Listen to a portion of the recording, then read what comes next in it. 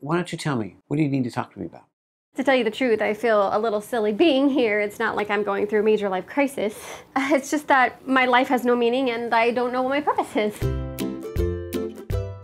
You work harder than anyone I know. You could do anything you put your mind to. I just don't know if cooking is for you. Out! No, I can do this. But you're right. About the poison. No. Well, I mean, maybe. I have not begun to scream. Do you know why? Because your dreams are dead? Because my dreams are dead!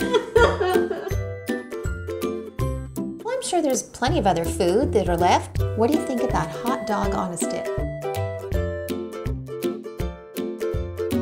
How hard can it be? Blueberry?